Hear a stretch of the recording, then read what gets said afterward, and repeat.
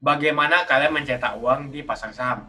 Secara umum, tujuan kalian berinvestasi saham adalah investasi di perusahaan yang memiliki prospek yang bagus ke depannya. Jadi ketika perusahaan berkembang dan profit, maka kita sebagai investor juga akan profit. Jadi di video kali ini, saya akan membahas dua hal untuk kalian, bagaimana kalian bisa mencetak uang di pasar saham.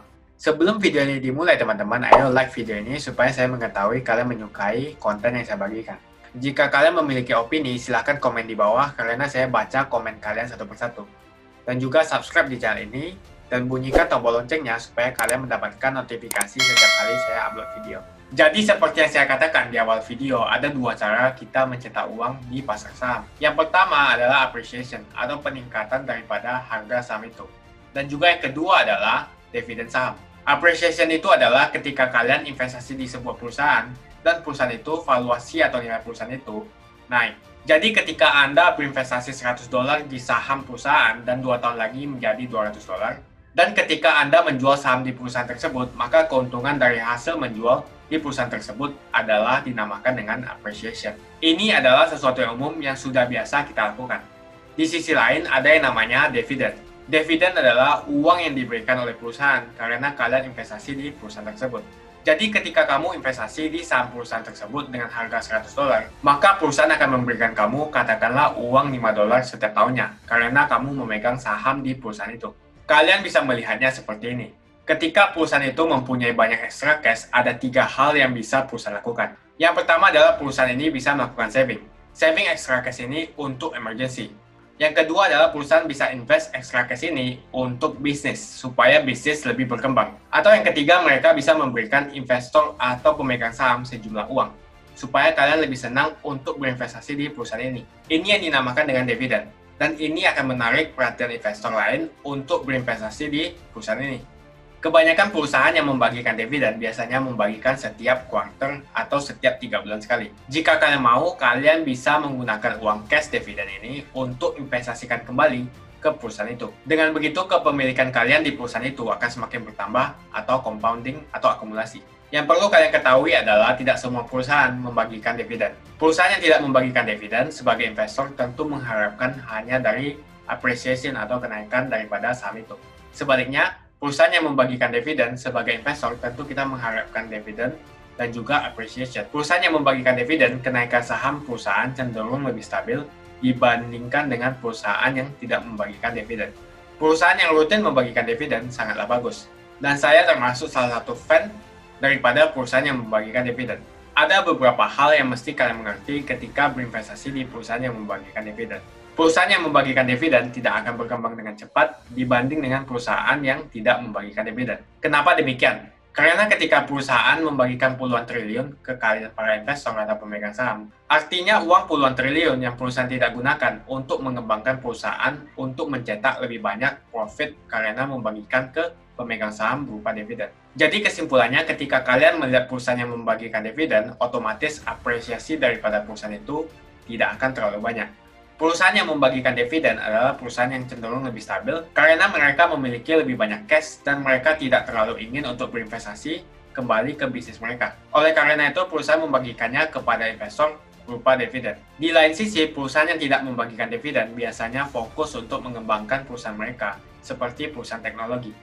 Kenapa perusahaan tidak membagikan dividen? Karena tujuan mereka adalah mengembangkan perusahaan secepat mungkin. Sebagai seorang investor, kalian harus mengetahui kenapa kalian berinvestasi di perusahaan yang kalian pilih. Jadi apa yang menyebabkan harga saham itu naik atau turun? Secara simpel yang menentukan harga saham adalah supply dan demand. Jika terlalu banyak demand untuk saham perusahaan dan tidak cukup supply, maka harga saham akan naik. Begitu juga sebaliknya. Kalau terlalu banyak supply dan sedikit demand, maka harga saham akan turun. Demand dan supply tergantung daripada sentimen masyarakat. Contohnya ada berita mengatakan perusahaan Apple akan mengeluarkan versi iPhone terbaru. Maka dengan berita ini berbondong-bondong investor untuk membeli saham Apple. Demand untuk saham ini melonjak dan ini akan menaikkan harga saham. Jadi untuk jangka pendek, harga saham akan fluktuatif, naik dan turun. Tapi secara jangka panjang, harga saham tergantung daripada fundamental dari perusahaan itu. Seperti berapa banyak perusahaan itu untung, apakah perusahaan itu berkembang, dan juga laporan finansial dari perusahaan itu. Ketika saya katakan jangka panjang, artinya kita berinvestasi di perusahaan lebih daripada satu tahun. Jadi long term atau jangka panjang kita berinvestasi berdasarkan prospek perusahaan secara fundamental. Jangka pendek, harga saham tergantung daripada sentimen masyarakat. Jika kalian ingin berinvestasi saham, sangat simpel, kalian tinggal membuka akun gratis, lalu kalian tinggal membeli atau menjual saham. Dulu tidak segampang atau semudah itu. Ketika kita ingin berinvestasi di pasar saham, kita harus menelpon manajer saham, dan prosesnya sangat panjang dan rumit. Semenjak era teknologi, sekarang semua menjadi sangat simpel. Untuk metode berinvestasi di saham perusahaan, kalian bisa cek video yang lain. Yang bisa kalian lakukan adalah daftar rekening summary ini, link bisa kalian akses di kolom deskripsi. Semakin tekun Anda belajar, maka semakin cepat Anda mencetak uang di pasar saham. Dan ingat, investasi adalah soal waktu. Jadi semakin awal kita memulai investasi, maka akan semakin ringan pula kita akan mencapai tujuan itu. Semoga video ini membantu Anda untuk melihat kembali investasi Anda dan mengatur strategi Anda dalam memilih perusahaan yang akan Anda investasikan dan memilih investasi sesuai dengan perkembangan market untuk lima tahun ke depan. Dalam jangka panjang, ekonomi dan saham US selalu mengalami kenaikan. Kalau kalian suka dengan video ini, share video ini ke satu teman Anda. Semoga video ini bermanfaat untuk kalian dan mungkin bisa membuka wawasan kalian. Terima kasih banyak buat kalian yang sudah like di video ini di awal video. Share video saya ke teman-teman kalian yang baru ingin memulai berinvestasi saham. Jika kalian ada pertanyaan, langsung saja komen di bawah. Dan tentu saja saya akan menjawab satu persatu.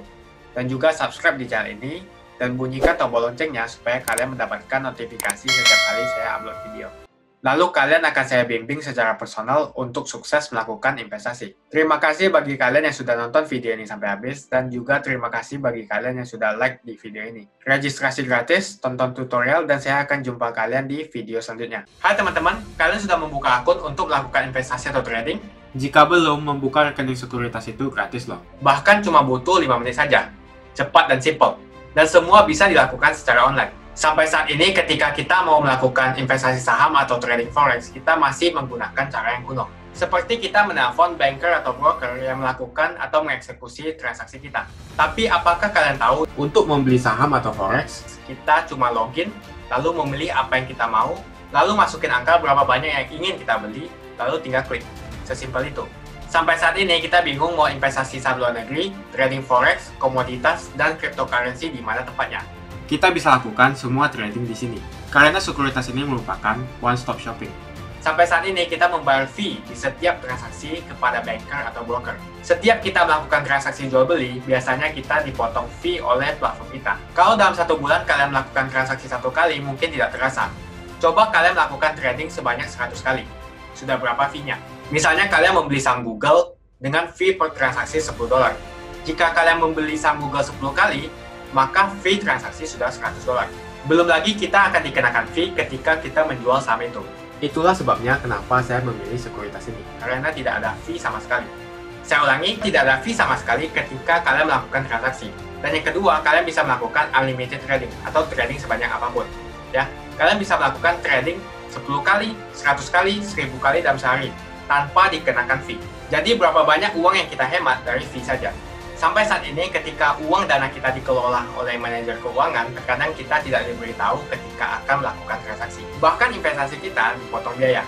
Dan kita dibikin bingung karena kurangnya transparansi. Kita juga bingung memilih investasi manajer yang bagus untuk mengelola investasi kita. Alhasil, investasi kita bukannya untung malah rugi. Tapi apakah kalian tahu ada fasilitas namanya copy trade, di mana kita bisa menduplikasikan investasi atau trading yang dilakukan oleh trader profesional. Semua data terbuka dan transparan. Dengan fasilitas ini, kamu tidak usah lagi menelpon manajer keuangan kamu untuk melakukan trading. Atau pusing investasi kamu merugi dikelola oleh manajer keuangan. Kita bisa memilih investor profesional yang sesuai dengan yang kita sukai. Banyak sekali profesional investor yang keuntungannya di atas 50%. Bulan ini saya profit 140%. Jika kalian ingin profit seperti saya, kalian tinggal menggunakan fasilitas copy trade.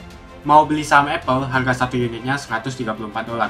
Kita bisa membeli dengan hitungan lot. Contohnya kita membeli saham Apple dengan hanya 13 dolar saja. Di platform lain wajib membeli minimal dengan harga 134 dolar. Dengan 13 dolar atau 180 ribu rupiah saja, kita sudah bisa membeli saham Apple. Menarik bukan?